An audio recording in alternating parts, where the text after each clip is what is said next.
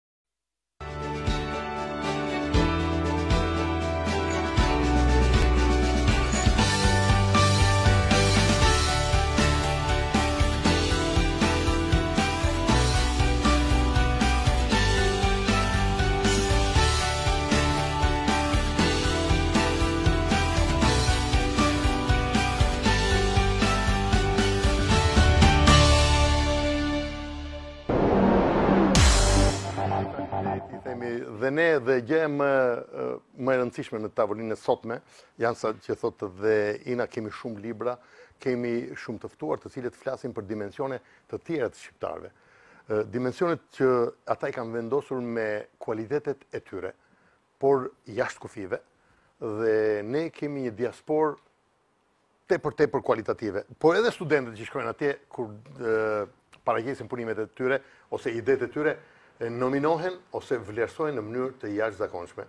Një nga këta unë kam një personazh tepër tepër të dashur për studentët, njëkohësisht edhe për televizionet, për kualitetet e tyre, ë Olsen Gripshi, Doktor shkencash, por ne nuk e kemi shkruajtur në titër sepse është titulli që e ka marrë para pak kohësh. Nuk them para pak minutash, por redaktorja e njihte kështu. Olsen Gripshi, artist, analist dhe mund të them një nga analistët më të mirë të artit. Olsen, faleminderit që erdhe. Faleminderit juve për ftesën. Është kënaqësi gjithmonë të vij në televizionin shqiptar. Si dritarja e vetme për artin, kulturën dhe për të vërtetën. Të falenderoj, sepse pak më parë... Kjo na përkëdhel sedrën. Jo, jo, pak më parë Ina... Kjo është e vërteta. Të vërtet të nolit nga e tjera konmine, e keqe për në studio. Olsen Gripshi, para pak kohësh, ose edhe që kur ishte student, merrej me artin e vjetër shqiptar, e studionte, e kishte bërë në punime dhe tepër tepër i vlerësuar në Firence dhe tashmë u bë docent, docent i shkencave dhe punimet e fundit, cili ishte ky punim. Para se të kalojmë tek pyetjet e Inës që janë për bashkatdhetarët që duan patjetër të të marrin. Atëherë, përpos bisedës tonë të sotme që sigurisht ka të bëjë me me artin, me piktorët, me kulturën tonë, por jo brenda Shqipërisë, por jashtë kufijve tonë kombëtarë. Tema e doktoraturës ishte bazuar në peizazhin në pikturën shqiptare. Pra, marrje në analizë të një historie të pikturës, të themi gati 130 vite. Pra nga piktorët e parë të rilindjes kombëtare dhe deri duke mbërritur tek piktorët e viteve të fundit të 2017-s. Një histori të themi e cila lëvron, analizon piktura, vepra arti dhe transformohet dhe gati gati krijon, të themi, një metamorfozë të peizazhit. Se si ajo nis në krye të herës, pra me piktorët e parë, si Kol Idromeno dhe duke mbërritur deri tek piktorët të themi Ali Oseku apo piktorët Artan Shabani, por edhe Toni Milaqi kështu me radhë. Pra, Një grup i madh piktorësh të marrë në analizë në gjithë këtë rrugëtim të themi të pikturës shqiptare. Në madh. Shumë punë. Një punë kolosale gati 5 vjeçare. Arti figurativ në diasporë. Atëherë, nga fillimet, nga gjeneza. Arti i pikturës është i hershëm. Është i hershëm, nis të themi që në në gjenezën, themi në vitet një mijë e katërqind, pra pushtimi osman, unë e kam konsideruar si një fatkeqësi të madhe për Shqipërinë, por deri diku në disa aspekte edhe një një fat. Pse? Pse? Sepse shumë artistë shqiptarë, piktorë, skulptorë, shkrimtarë, themi migruan, migruan përtej Adriatikut duke vajtur në Itali. Italia e dimë shumë mirë që është themi djepi i kulturës evropiane. Patjetër. Dhe jemi në vitet themi në në kulmin e pikturës së rilindjes evropiane. Shqiptarët migrojnë në Itali, kthehen në një komunitet shumë të fortë, në një komunitet i cili sjell themi nëpërmjet kontributeve të tyre, madje madje themelojnë dhe një shkollën e parë të pikturës e quajtur ndryshe apo njohur botërisht. Nuk flasim për arbëreshët apo flasim për arbëreshët. Edhe arbëreshët është një pjesë, të themi, shumë e mirë, një kontingjent shumë i madh i popullatës shqiptare e cila po. migron përtej kufijve shqiptarë dhe përtej Adriatikut pikërisht në në Itali. Italia si vendi i parë, si toka e parë, të themi përtej detit. Kjo solli themelimin e shkollës së pikturës në Venecia, njohur ndryshe dhe si Venediku, La Scuola degli Albanesi. Ende sot ekziston një rrugë, rruga e shqiptarëve, shkolla e shqiptarëve. Ishin vetëm shqiptarë apo kishte Jo, ishin vetëm artistë shqiptarë. Vetëm artistë shqiptarë. Ishin vetëm artistë shqiptarë dhe nga kjo shkollë dolën artistë shumë të mirë, po. artistë të cilët iu përshtatën dhe ndihmuan në zhvillimin e pikturës dhe të skulpturës së rilindjes evropiane. Rilindja evropiane, rilindja italiane, disa raste. Janë në disa raste, por si Viktor Karpaçi është po. një ndër të themi po. eksponentët më të mirë të pikturës së rilindjes veneciane, i cili të themi përfaqëson gjurmën që ka lënë. Përfaqëson një shkollë të veçantë për nga mënyra se si ai trajtoi pikturën, për nga mënyra se si ai kishte një qasje filozofike e të gjitha me radhë. Pra solli Një pikturë evropiane, deri diku edhe me motive shqiptare. Pra asnjëherë nuk harroi Shqipërinë. Cilat ishin elementët dhe motivet shqiptare në anë? Po shiko, ë skenat, ë ndërthurje midis personazheve, ndërthurja vendosja e kostumeve shqiptare. I vendosi. Pra të vendosura në personazhe italianë, në personazhe të kohës, por me kostume shqiptare. Wow. Pra, kjo është një lloj loje, themi figurative, që ky artist ka ka realizuar, por nuk është i vetmi. Flasim për vitin? Vitet 1400. Pra, nuk është jo. nuk është vonë, është një një një moment shumë historik, jo vetëm për pikturën italiane, por edhe për kulturën tonë shqiptare, sepse këto janë eksponentë. E këtu shofim qartë ndërthurjen midis të dy, midis dy popujve. Midis dy popujve, midis dy, dy mendësive, midis dy kulturave, të cilat të themi e kanë forcuar edhe më tepër, e themi këtë lloj gërshetimi kulturor midis Shqipërisë, apo kulturës ballkanike, themi, dhe po. kulturës së perëndimit, sepse Italia, themi, ishte një ndër portat hyrëse në Evropën perëndimore, sikurse është dhe Shqipëria për pjesën e lindjes. Por nuk është i vetmi artist, sepse shumë artistë të tjerë kanë vijuar ndër shekuj. Vlen të marrim edhe uh, familjen Albani, nga ku doli uh, dhe papa i, i dyti uh, shqiptar uh, Francesco. Po. Pra, papa Francesco apo uh, dhe i vllai që është një ndër piktorët më përfaqësues të viteve 1600, të cilët krijuan një Një papa dhe i vllai? Papa dhe vllai. Po, po. Janë në dimensionet janë në dimension një pap dhe një piktor i famshëm. Një piktor shumë i famshëm. Po, Gjon Albani, që ishte një ndër piktorët më përfaqësues të shekullit të tij. Pra, papa, i cili patjetër që në konjunktura të ndryshme ka dhënë një mundësi, ka dhënë një hapësirë, por vëllai ka mbajtur një pikturë, e themi të gjallë, një pikturë të freskët, një pikturë baroke shumë të fortë. Sepse nuk duhet të harrojmë që familja Albani ishte edhe përpos faktit të një papati, ishte edhe një familje koleksioniste. Pra ka krijuar një ndër koleksione më të mëdha dhe jo më kot, le të themi Pallati Dukal i Xhenovës, po. që ka edhe një lloj një lloj marrëdhënie, le të themi, të ndërsjellë edhe me familjen Albani, që është familja Duraco. e cila krijoi, të themi, një koleksion shumë të vyer dhe ende sot po. ekziston Pallati Dukal. Familja Albano shumë miq me familjen Dei Medici. Dei Medici, pra kemi një lloj lidhje historike kulturore që nuk mund ta anashkalojmë. Pra piktura e diasporës shqiptare ka qenë shumë e fuqishme dhe shumë e pranishme. Çdo ditë ti zbulon nga një gjë të re, kush është impakti? Ngelesh. Kënaqësia më e madhe është të shikosh në panteonin e piktorëve të mëdhenj hmm. të rilindjes evropiane, unë të paktën personalisht e konsideroj si një ndër periudhat më të rëndësishme të njerëzimit, mhm. sepse në këtë pikturë nuk është thjesht piktura, por ka një filozofi, por ka një mendësi, ka një koncept, ka një mesazh, ka një mesazh. Pra, mm. janë të gërshituara kaq bukur, kaq me finesë, dhe jo më kot quhet Rilindja Evropiane. Patjetër. Pra pati një ndikim të tërthortë në letërsi, në filozofi, pra në gjithçka, në artet pamore, në teatër, në kinematogra në kinematografi, themi që ndikoi në vitet më pas. Pra ishte një periudhë shumë e rëndësishme dhe të shikosh emrat e artistëve shqiptar, të cilët kanë dhënë një kontribut pikërisht për këtë periudhë, sigurisht është një krenari. Ndjen veten krenar. Pa dyshim, pa dyshim, sepse krenaria më e madhe shtohet edhe kur ti shikon brez pas brezi, shekull pas shekulli, dhe duke mbritur deri, themi, në shekullin tonë, të shekullin 20, që është Ibrahim Kodra, një ndër përfaqësuesit më të mirë të pikturës evropiane. Ndoshta tek ne njihet pak Jo, nuk njihet aq sa duhet, por në Itali në pikturën të themi të shekullit 20, pra pjesa e dytë e shekullit 20 është një ndër piktorët më përfaqësues. Është fat që ne që e kemi takuar jemi në një pikë inkandescente të Absolutisht sepse sepse gjigandi Ibrahim Kodra ishte E dikush nga gazetarët më fal, të medias italiane ka konsideruar dhe si Leonardon e Shqipërisë. Modern. Modern, po. Modern, pa dyshim. Komplimente. Unë kam qenë në shpinë e tjetër. Përgëzime dhe komplimentet për pikturën. Emocion shumë i madh. E e Ibrahim. Na bën gjithmonë xheloz, xheloz për këto jo, gjëra. E jo, vin nga personalitete shumë të mëdha. Pra, ndoshta ne nuk e kemi kapacitetin për ta gjykuar Jo për më tepër ta analizuar pikturën e Ibrahim Kodrës. Ndoshta ndoshta edhe një herë ma thuaj këtë. Po. Ne ne ndoshta sot nuk e kemi kapacitetin për ta gjykuar i dhe jo më për të, më tepër për ta analizuar një pikturë të të kësaj përmase. Përse? Lind pyetja natyrshëm, sepse Ibrahim Kodra për dikë konsiderohet si një piktor amator. Për dikë tjetër naiv. për dikë tjetër i cili nuk ka patur, të themi, atë dell të artistit dhe ndoshta është një piktor i fatit. Jo, asgjë nuk vjen nga asgjë. Pra fati kërkohet, fati nuk bie nga qielli.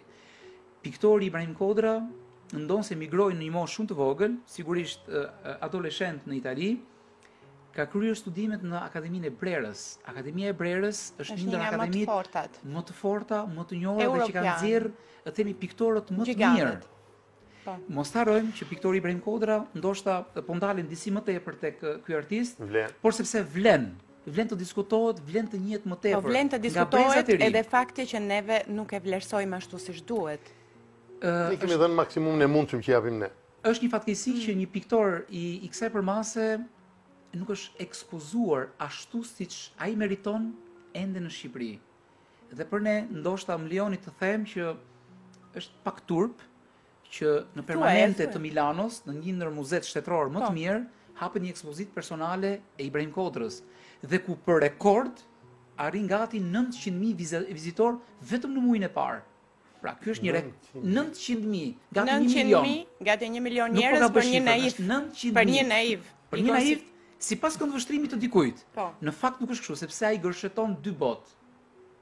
Shpirtëroren dhe ato estetike, ato të jashtmen, që ne njerëzit shohim. Unë mendoj që koha është ajo që do i japi Ibrahim Kodrës atë që meriton.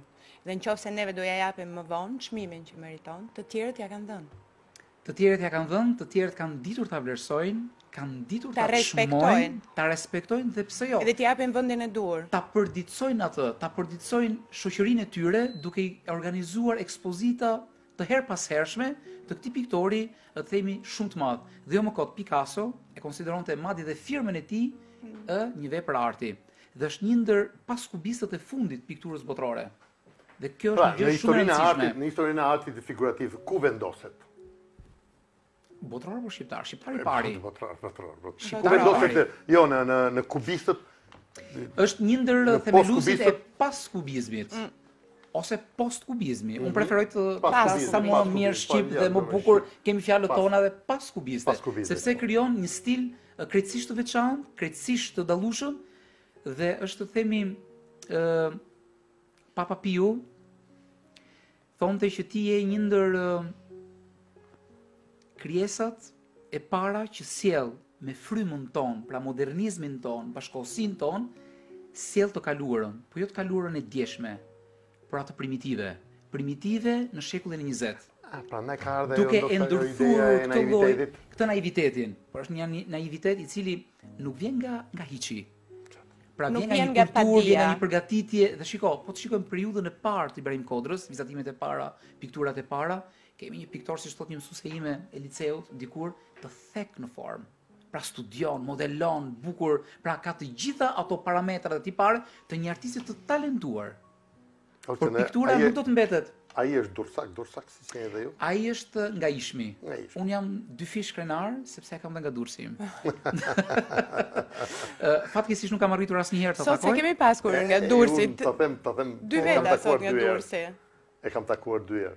Dhe unë besoj se mbresat kanë qenë, mbresat kanë qenë të të mëdha. Të lutem, na thuaj jo, diçka ti. Jo, kam shkuar në shtëpinë e tij atje, arsye pune televizive. Qartë. Dhe të shoqëruar nga ishte diplomat i jonë atje dhe një herë që ka ardhur këtu, që përsëri për arsye televizionit, e takova dhe ia kujtova dhe vizitën time në shpi. Unë, të ta them të drejtën, herën e parë që kam shkuar, nuk e kam parë, domethënë, ose isha brenda një dimensioni jashtëzakonisht të madh, shumë i vogël, me atë procesin analitik Timin nuk e kuptoja, të jemi të sinqertë, nuk e shijoja si ngjyra, nuk e kuptoja. Do që, ose do të zëvendësohesha me shumë dëshirë ju që do e kuptonit dhe analizonit aq bukur. Shiko, Ibrahim Kodra përpos pikturës e cila ka një vlerë të padiskutueshme dhe jo për t'i bërë elozhe falso apo të tepërta, por është edhe një, një shqiptar i devot. Pse them këtë? Fatkeqësisht nuk kam mundur ta njoh personalisht, Por të tjerë miq që e kanë takuar në Milano ka qenë gjithmonë me kokën dhe me shpirtin tek Shqipëria. Aq sa shkonte të pikturonte peizazhe në jugun e Italisë, në Sicili, në Kalabri, në Positano, si e si të ndjehej dhe të ishte në kontakt me arbëreshët, me shqiptarët. dhe studentëve shqiptarë të Brerës, aty ku ka patur mundësi, ka krijuar hapësira të jashtëzakonshme që ato të dilnin, të krijonin, të jepnin vetveten dhe të prezantonin pse jo artin e tyre, që të mos harrojmë që është shumë e vështirë për të rinjtë e sotëm. Por ne themi diskutimin përpos faktit të Ibrahim Kodrës, do doja dhe të merrja të kujtoja piktorë dhe artistë të mdhej, që janë ende gjallë, janë të rinj, të cilët na nderojnë.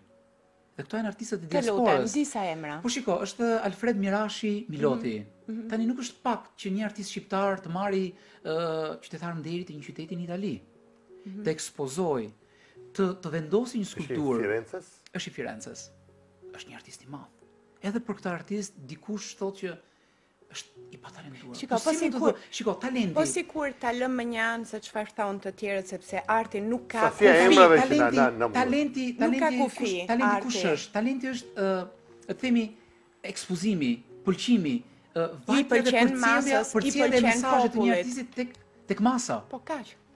Kaq mbaron filmi, mbaron misioni i artistit. Mua nuk më intereson se çfarë thonë. Po kemi Anri Salën. Po. po kemi artistë të mëdhenj, të cilët kemi Eltjon Vallen, të cilët janë artistë po Helidon Xhixhën. Ëh. Mhm. Një ndër eksponentët. Është brezi i fundit, i fundit që është i fundit. Po vendos veten. Është i freskët. Janë ende djem të rinj, janë ende djem të cilët janë themi stilin që ndjekin. Po shiko, tani, Helidon Xhixha është një ndër, themi, artistët më përfaqësues, më dinjitozë, mhm. dhe ai gdhend dritën. Kështu e ka titulluar ai artin e vet, po si gdhendet drita, nëpërmjet përdorimit të materialit të inoksit, pra krijimit të skulpturave. Po. Ishte një ndër artistët e parë që krijoi Për Ferrarin, dhe më pas skulptura dhe arti i tij ka mbërritur në muzetë më të mëdha. Po ka ngritur në në në Dubai, po ka mbërritur në Paris, po ka mbërritur në Uffizi të të Firences, po ka mbërritur në MoMA. Emër tjetër. Po Anri Sala, i njëjti. Po. Po dhe ai ka shpërthyer dhe ka themi ka vendosur një vulë, ai është merret me me me kine me kinemanë, merret me filmin, filmin. merret me videoartin. Po. Më më më Por kemi Elton Vallën i cili merret me tokën, po. i cili shkon dhe sjell një copëz të Shqipërisë, të Kuçovës së tij në zemër të Evropës. Pra, emocionon shikuesin evropian duke marrë pikërisht atë tokën e ndotur dhe duke ekspozuar në muzetë më të mira. Me pra, kontaktin, këto janë artistë, themi që na nderojnë. Me një vizion shumë të largët. Me artistët janë shumë, shumë, shumë dinamikë. Je. Kur kalon në Duomo, aty ke qejf të gjesh diçka shqiptare diku, diku. Kemi, Po dhe e ke në zemër të Duomos, e ke në brendësi të Duomos, në simbolin jo vetëm të Milanos. Meqenëse e foli për Firenzen, për... Po. Të Italisë gotike, Jemi në periudhën e fundit të gotizmit, pra të po. stilit gotik, të periudhës të artit gotik evropian dhe themi një ndër simbolikat e Milanos dhe e vetmi që ka mbijetuar në Italinë e Veriut, por dhe në të gjithë themi Evropën lindore. Po duket se italianët janë bërë paksa xhelozë, sepse e kanë mbajtur një çikëz si shumë të mbyllur po këtë. Po kemi skulptorin Aleks Tarketa që është një ndër të themi skulptorët më të njohur dhe që ka bërë të gjithë pjesën absidale të të kësaj. Cilat vite? Po ky i përket viteve të fundit, viteve 1300-400. Sepse edhe të dhënat për këtë artist janë shumë të pakta. Shiko, shumë edhe i mbajnë edhe shumë kultura, kultura të mëdha. Si ajo italiane, si ajo greke, si ajo franceze, si ajo angleze, po kushdo? tentojnë që të përvetësojnë vlerat dhe mbi këto vlera të ndërtojnë kulturën e tyre, pavarësisht se ti, unë, ne të gjithë kemi një prejardhje. Ai thotë ky është një artist italian. Po, është një nga të dhënat që nuk gjendet. Është një artist italian sepse ky është rritur, është po. studiuar në Itali. Po. Dhe unë me të drejtë thotë ai, dua ta mbroj. Shtetas italian. Sepse mbron kulturën e tij, mbron vazhdimësinë e tij, që ne fatkeqësisht në Shqipëri tentojmë edhe aty ku gjejmë apo shikojmë pra, diçka ta mbysim. Jam jam në Duomo dhe shoh çfarë shoh aty unë shqiptare edhe një herë për për ta identifikuar. Saktë. Në Duomon e Milanos po. me të vetmen gjurmë gotike ne shohim Aleks Tarketën me një skulpturë, me një gdhendje të të gjithë pjesës absidale, pra pjesën ballore të kishës, ti e ke të punuar nga një artist shqiptar i viteve të fundit, i viteve 1300 të fillimit të viteve një mijë e katërqind, pra fundi i artit gotik dhe fillimi i artit të rilindjes evropiane. Po më bën të qaj. Pra janë vlera të jashtëzakonshme. Jemi të ndjeshëm ne. E njeh dikush Aleks Tarketën në jo. Shqipëri? Po bëj unë një pyetje. Jo, kërkoj ndjesë që bëj pyetje unë. Jo, jo, neve kërkojmë ndjesë. Jo. Nuk e njoh as në Itali, nuk e njoh, sepse kam jetuar goxha vjet. Ky është artisti shqiptar që ka krijuar. Por të gjitha brezat kanë krijuar artistë shqiptarë, e përmenda pak më sipër, pra Vitore Karpaço, por nuk është për t'u nënvlerësuar, sepse është një ndër Karpaço? Karpaço, po është një ndër piktorët më të mëdhenj, ka pikturuar Është shqiptar? Është shqiptar me origjinë. Po pse duhet ta nënvlefsojmë? Pse? Kërpaçi, Kërpaçi me mbiemër Kërpaçi. Kërpaçi, po. Kërpaçi e kanë bërë Karpaçi. Nga Gramshi, nga Gramshi i Elbasanit. Migron familja në Itali? Pse thua që duhet ta nënvlefsojmë, nuk duhet ta nënvlefsojmë, kush po e nënvlefson? Po fakti që nuk diskutohet, fakti që nuk studiohet, fakti që në shkollat artistike, po. unë kam bërë vetë shkollën artistike në Shqipëri, nuk e kam dëgjuar, thjesht kur kam parë atje rruga e shqiptarëve, më ka bërë kureshtar, Them çfarë ndodh këtu? Janë të gjithë kërkimet që po bën ti personalisht dhe ke bërë ti personalisht janë kërkime apo le të themi personale, por janë edhe kërkime nga uh, autorë të njohur italianë. Një libër, po, mund ta shkruash një libër, të lutem. Është Alberto Ardu, një ndër autorët, një historian sard i cili flet dhe shkruan një libër voluminoz. Po. Më, më falni nëse është pak 400 faqe. Të shkruan që origjina e sardëve është origjina shqiptare. Këtë e kam dëgjuar. Dhe këtu të përmend shumë e shumë autorë dhe personazhe të njohur. Doni që t'ju përmend edhe Antonio Gramshin? Të qartë. Atë e njohim, e dimë, e dimë një personazh shumë i shumë i fuqishëm, ndoshta po. jo në pjesën e kulturës, por në pjesën e politikës. Po. Pra, por kemi personazhe të shumtë shqiptarë të cilët themi ne na nderojnë dhe vlen që të përmenden të diskutohen. Ti që i do kaq shumë piktorët, artistët, aktorët, regjizorët ata që ti njeh nga viti 1300, 1400 deri tani. Pse nuk merr një impenjim përballë spektatorëve, telespektatorëve tonë dhe thua që do bëj një libër, do bëj diçka, do bëj diçka që brezi i ri dhe ne të tjerët të mos vdesim injorantë, Shumë shpejt. Të mos vdesin duke thënë ne nuk jemi popull, ne nuk vlejmë, ne nuk jemi, ne s'kemi asnjë gjë. Jo, ne vlejmë, ë ne kemi një fatkeqësi që jemi edhe modestë, por edhe të paaftë ta promovojmë veten, po, ndërkohë që të tjerët e kanë bërë me shekuj dhe flasin për gjuhën tonë, flasin për kulturën tonë, për etnogjenezën e shqiptarëve, por ne fatkeqësia e madhe është që nuk dim ta promovojmë. Doktor, librin. Atëherë, shumë shpejt Do të ketë një libër ku flitet pikërisht për këtë periudhë, Portreti në pikturën e Rilindjes Evropiane, ku pjesë e këtij studimi 10 vjeçar do të jenë dhe këto piktorë të sipërpërmendur, që trajtojnë portretin, portretin si një formë artistike, portreti si një mesazh, por portreti edhe si një temperament të kohës. ku piktorët me origjinë shqiptare pa dyshim që kanë një hapësirë të jashtëzakonshme në këtë tregim. Edhe papat që i dhamë Romës, se nuk i kemi dhënë pak. Shiko, i kemi dhënë në histori, në histori janë jo, në histori themi përmendën që janë katër. Fillon me papën Papa Kajo, po. Papa Giovanni, i po. parë, kemi papën themi ë e viteve 1700 deri në vitin 1720 që është pikërisht Papa Albani, Albani. apo i njohur ndryshe si Klementi 11. Po. Mendohet edhe një pap tjetër ë themi në kërkimet, në kërkimet e fundit që janë, ne jo në 20 dalën 20 të pado. Pap të verifikuar nga të dhëna, ë themi shumë të të sigurta nga studiues të mirëfill, nga studiues themi që janë marrë pikërisht me historinë e Kishës Katolike dhe këto katër papë dhe me Vatikanin, dhe me Vatikanin padyshim, dhe janë papë të konfirmuar. E kuptoj. Të falenderoj, Olta. Faleminderit. Të falenderoj sepse i kaluam kufit dhe me dinjitet. Faleminderit juve. Faleminderit që ishet dhe të dashur teleshikues, të dashur bashkatdhetarë. Pra, kemi elementë të cilët na bëjnë krenar Ina thotë vazhdimisht, bëheni krenar apo jo. Na bëjnë krenar ata që kanë shkruar dhe kanë vendosur emrin e shqiptarëve edhe në panteonet e mëdhenj. Faleminderit që na ndoqët nesër sërish në orën 13. Faleminderit.